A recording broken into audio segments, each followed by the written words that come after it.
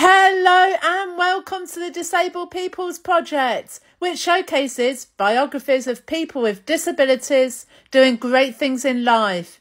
Each episode or post is a different biography lasting less than three minutes. You can see my project on other platforms in the comments section.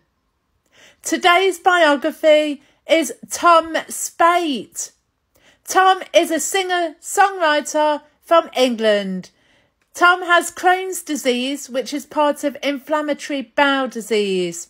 He said he nearly died 10 years ago when his bowel perforated. He lives with a stoma now and regularly raises awareness of Crohn's and colitis, a, a long term chronic health condition.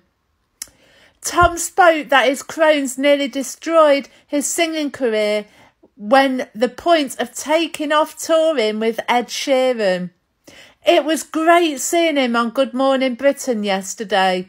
I recently did a biography of Lewis Capaldi and the power his recent difficulties at Glastonbury, which helped raise awareness for people with disability and chronic illness and help reframe disability that it's okay to not be okay.